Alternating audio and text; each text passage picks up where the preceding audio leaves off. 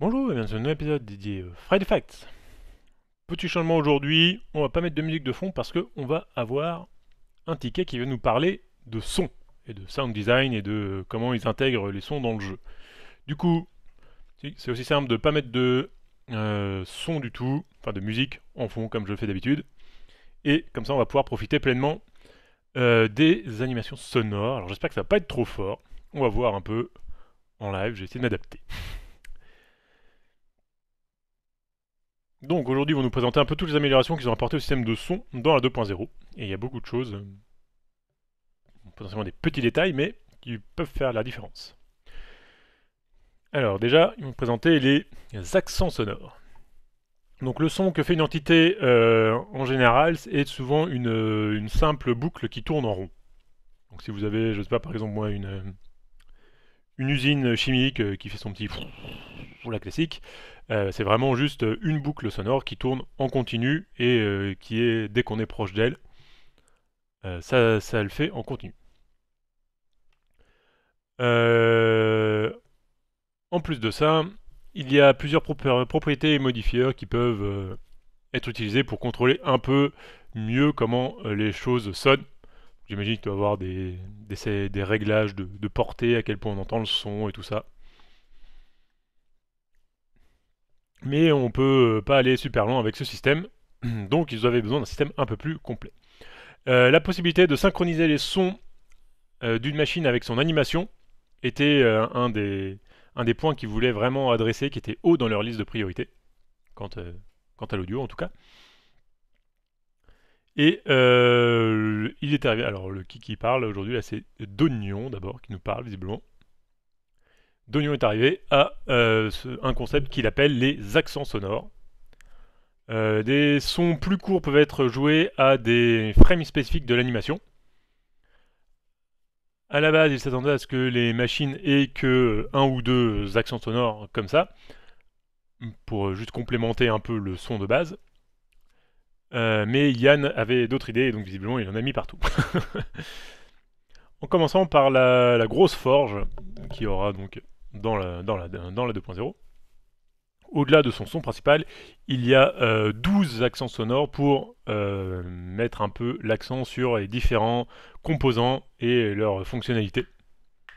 Et ne s'est pas arrêté, il y a des machines avec des sons encore plus complexes, ils nous montreront ça peut-être plus tard, mais pour l'instant, on concentre-nous sur la fonderie. Donc j'imagine que là, on va voir...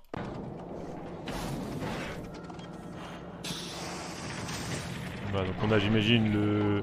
les pchits qui viennent de par là. On a le truc qui coule, on a vraiment le son de ça. Donc j'imagine que ça, ça va nous montrer un peu où sont joués les sons. c'est vraiment l'animation en fait. Ok, donc ça c'est la boucle principale du son. Et là on a vraiment euh, comment sont joués les différents accents. Ah, on a entendu un petit bruit euh, métallique plus.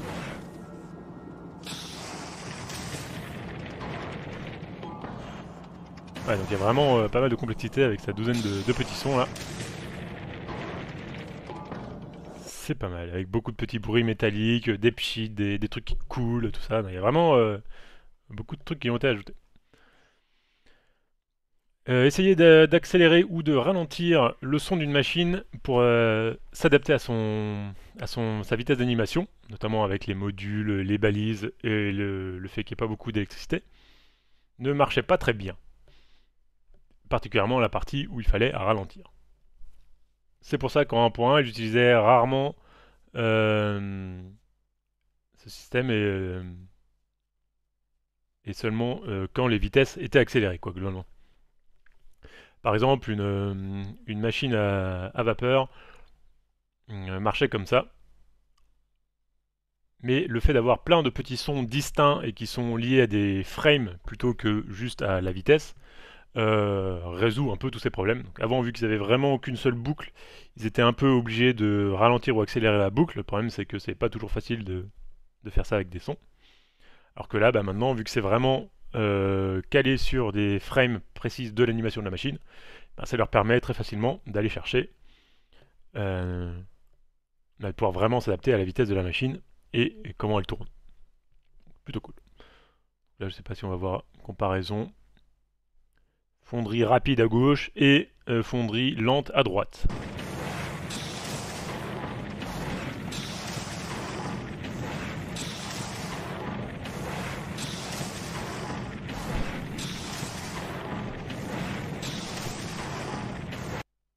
C'est rapide. Et là, donc, la lente, j'imagine.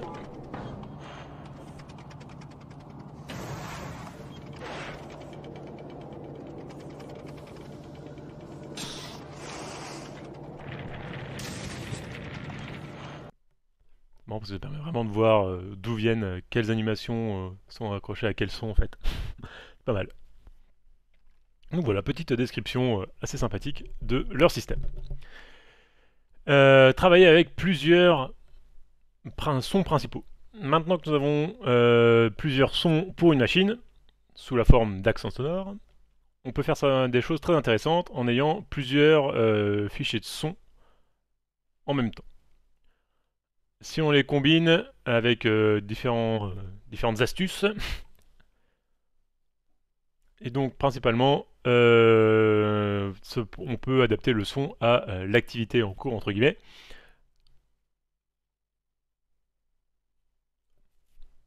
Donc par exemple, ça peut s'adapter aux véhicules et à leur vitesse, mais ils peuvent être même plus créatifs. Regardons, euh, on va voir une paire d'exemples de ce qu'ils ont fait avec les véhicules dans la 2.0. Dans la 1.1, la voiture avait un son principal qui jouait plus rapidement si la voiture allait plus vite. Jusque là, c'était basique, mais euh, on peut faire mieux. Donc maintenant, ils peuvent utiliser ils vont utiliser deux sons. Un son à l'arrêt et un son en train de conduire. Et au fur et à mesure que la vitesse de la voiture augmente, le son à l'arrêt est euh, très vite euh, baissé jusqu'à devenir complètement silencieux. Et en même temps, le son de la conduite, entre guillemets, va être augmenté du silence jusqu'à son volume maximal. Donc il y a vraiment une période de transition comme ça qui est mieux faite qu'avant en plus. à un moment de cette vidéo, le son euh, commence à augmenter aussi. Et ça, c'est euh, dépendant de la vitesse, même s'il y a une, un limite, une, limiteur, une limite haute pour pas que ça aille trop haut. Par exemple, regardons.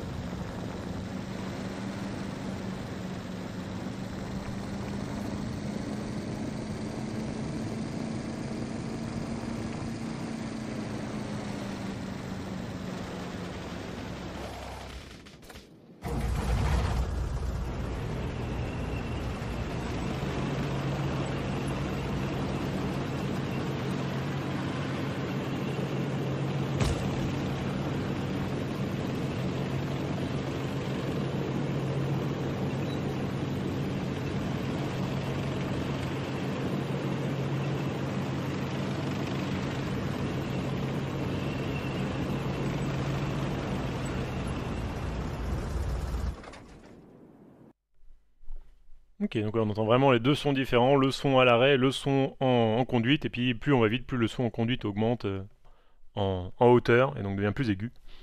Donc maintenant, ça rend vraiment les choses plus intéressantes et plus immersives. Bien sûr, les trains ne pouvaient pas être laissés à côté.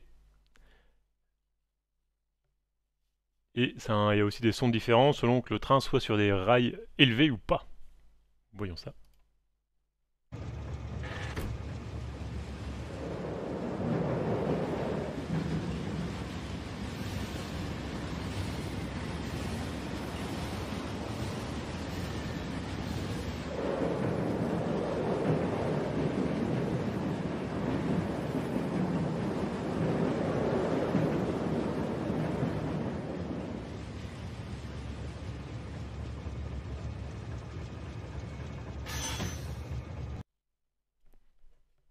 Voilà, il y a pas mal de choses. Il y a à la fois un son à l'arrêt, un son en roulage, un son en roulage qui est différent s'ils sont sur les rails élevés, qui fait vraiment différent. Et en plus, ils ont un peu euh, aussi un petit son à l'arrêt et tout. vraiment bien fait. Euh, les sons additionnels pour les machines. Euh, est-ce que vous avez noté que le son était différent quand la voiture allait rouler par-dessus des tuiles différentes? Ou que le son euh, des portes du wagon cargo dans les précédentes vidéos. Il ne marche pas très bien avec des sons euh, ne marche pas très aussi bien que des sons continus. Donc une approche différente était nécessaire pour les machines qui tournent en continu, j'imagine. On pourrait ajouter la logique pour qu'à chaque entité, à chaque mise à jour de l'entité, on puisse gérer des sons en plus. Et ils l'ont fait pour certaines choses dans le passé, comme par exemple les tourelles d'artillerie, qui a un son de rotation qui est basé sur vraiment la logique d'update. Euh, c'est bien tant qu'il y a très peu d'entités qui font ça, mais sinon ça peut vite devenir inefficace et, euh, bah, gaspiller des ressources euh, CPU, parce que bah, ça doit être plus compliqué de faire, enfin plus compliqué de faire tourner ce système-là dans les boucles de mise à jour. Et donc il ne pourrait pas le faire comme par, pour des entités très où il y en a beaucoup, comme par exemple euh, les mines et les robots. Ce qu'ils avaient donc pour ça, ils, ils avaient besoin d'un nouveau système qu'ils appelaient créativement son additionnel. Euh, tout un tas d'anciennes entités ont déjà euh, commencé à se servir de ce système et on va regarder l'un d'entre eux sous forme de la grosse foreuse. La dernière fois qu'ils l'ont montré en vidéo, c'était un son temporaire. Donc là, voyons voir le vrai son final.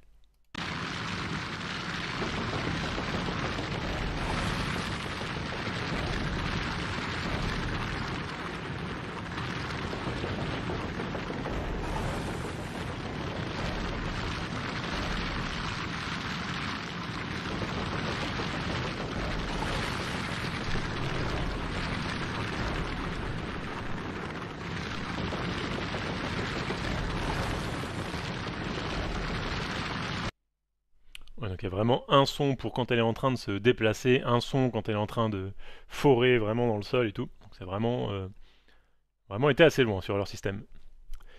Enfin, on va parler des sons ambiants. Il y avait plein d'idées pour la 1.0 qui n'ont pas eu le temps d'implémenter à temps. Euh, une d'entre elles était d'avoir des sons euh, plus immersifs pour l'ambiance. Et plutôt que juste un son pour le bruit du vent. Il a donc euh, développé un petit système euh, pour le vent qui, joue, différentes euh, pistes audio en fonction de bah, comment on est zoomé, apparemment. Qui était plutôt basique et après qui devenait plus intéressant quand on dézoomait. Avec une, une transition entre les deux. Ça a évolué dans une idée d'avoir des sons d'ambiance semi-persistants par exemple, sur Vulcanus, on peut entendre le sang des volcans à distance, euh, de façon euh, assez faible, et avec des pauses plus ou moins longues, donc ça donne vraiment un effet euh, plus intégré. Mais est-ce qu'on pourrait pas rajouter plus de sons ambiants basés sur la localisation du joueur? Pour ça, il ne pourrait pas utiliser la... Il ne pouvait pas utiliser l'approche classique qui était d'avoir des, des endroits qui déclenchaient vraiment des sons, ou alors des zones euh, prépeintes, parce que la map est générée et donc elle n'est pas faite à la main. Donc ils ne pouvaient pas facilement inclure euh, des sons dans des zones euh, spécifiques. Mais ils, ont, ils sont arrivés à l'idée de pouvoir ajouter des sons aux tiles et aux entités basées sur différentes conditions. Et une fois que la tech était dispo, il a commencé à ajouter des sons comme des petits des petits clipotis dans l'eau, euh, des, feuilles qui, euh, qui bruissent au gré du vent et tout ça. Et donc il a réalisé qu'il pourrait y avoir plein de petites créatures invisibles, par exemple des, petites, des petits aliens non hostiles qui se, et des, euh, comme des oiseaux dans les arbres, et que seulement le, joueur, les joueurs peuvent l'entendre seulement s'il est assez proche des arbres Il y, a des, pauses un peu aléatoires entre les sons et tout ça, mais ça donne vraiment une immersion beaucoup plus complète et l'impression d'être vraiment euh, dans, une, dans une planète euh, alien, quoi. Écoutons ça.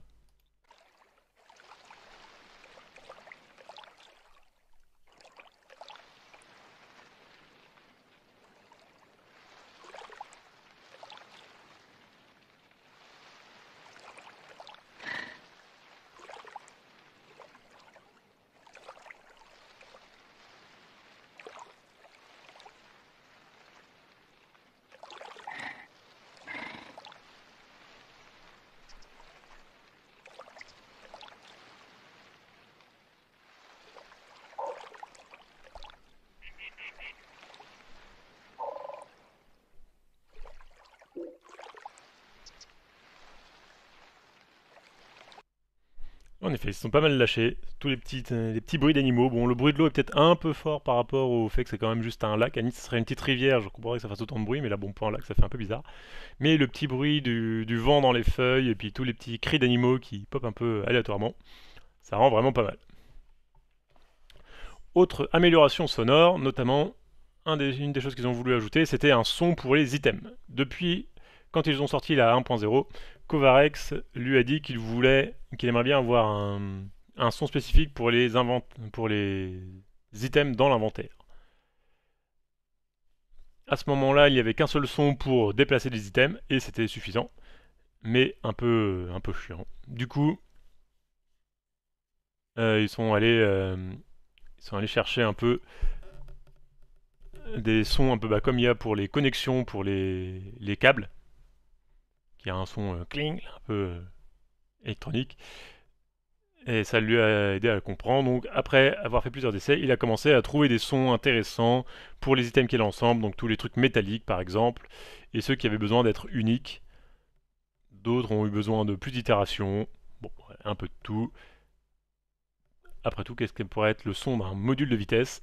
C'est pas évident. Et dans certains cas, il a utilisé justement un son assez abstrait pour euh, matérialiser tout ça.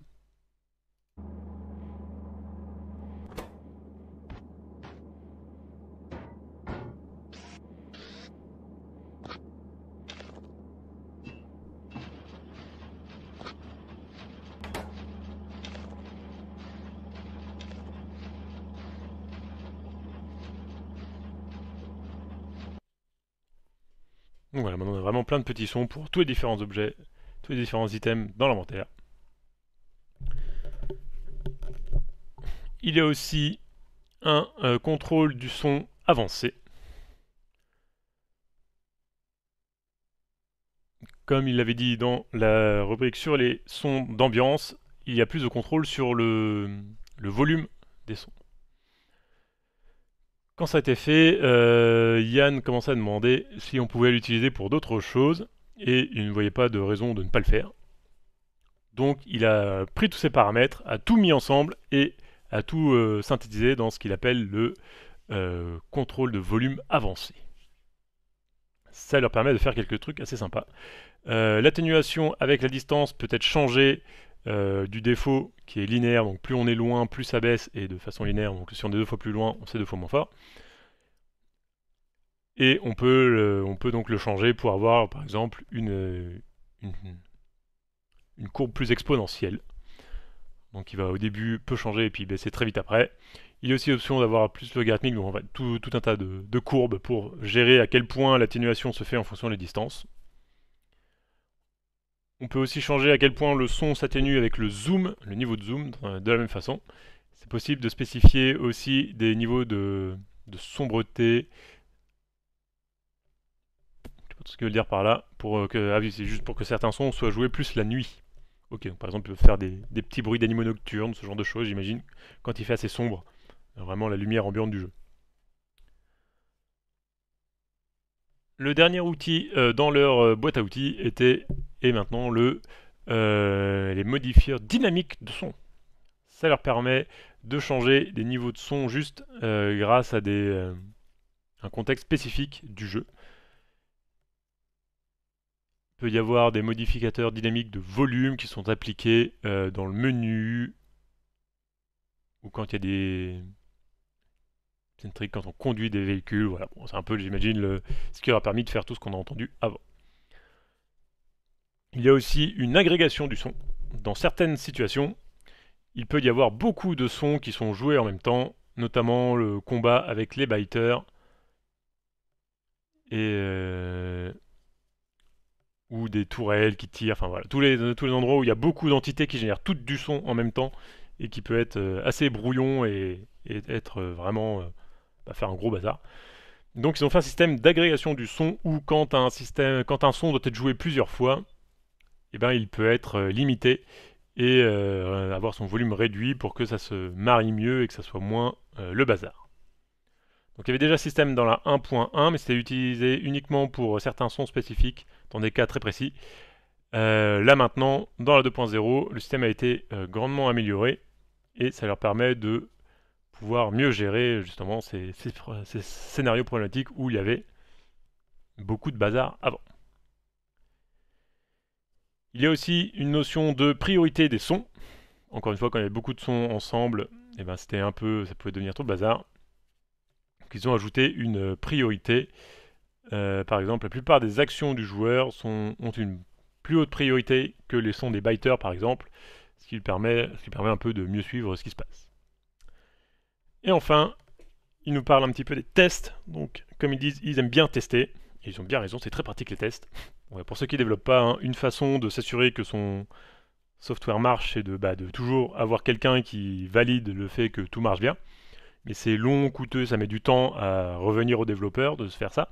Donc une euh, façon beaucoup plus en vogue maintenant, c'est d'avoir des tests automatiques. On va écrire des programmes qui vont valider que notre euh, jeu marche bien. Et donc, euh, c'est un truc qui se fait dans plein d'endroits, hein, mais notamment à Factorio, ils en parlent assez souvent, ce qui est assez rare. Souvent, ils parlent, les développeurs ne parlent pas trop de leurs tests, voire ils en font pas toujours. Donc là, ils ont vraiment développé toute une suite de tests qui leur permet de tester les sons, de savoir si euh, vraiment tout ça marche bien, si tout ça euh, et si les bons sons sont joués au bon moment, si les volumes sont bons et tout ça. Donc ils ont ça a dû être assez assez compliqué à développer tout ça. Mais maintenant qu'ils ont une, boîte à outils pour faire leurs tests, bah, ça leur permet de euh, pouvoir euh, améliorer leur système de son sans casser des choses et en se rendant compte quand ils cassent des choses surtout pour pouvoir le réparer très vite et s'assurer que tout reste cohérent. Et enfin pour la musique, euh, il, se doute qu'on était là aussi pour entendre un peu parler de la musique qui viendra avec Factorio Space Age, mais ça ils vont nous le garder pour un futur Friday Facts. Donc on verra ça une prochaine fois. Du coup voilà, c'est tout pour ce petit ticket euh, musical, enfin sonore surtout. Ils nous ont montré pas mal de petites techniques, de petites améliorations et à quel point ils, se prennent le, chou sur des petits détails pour vraiment améliorer le, rendu complet du jeu. Donc voilà, bah, j'espère que ça vous a plu. Et on se retrouve la semaine prochaine pour le prochain ticket Friday Facts. Salut, salut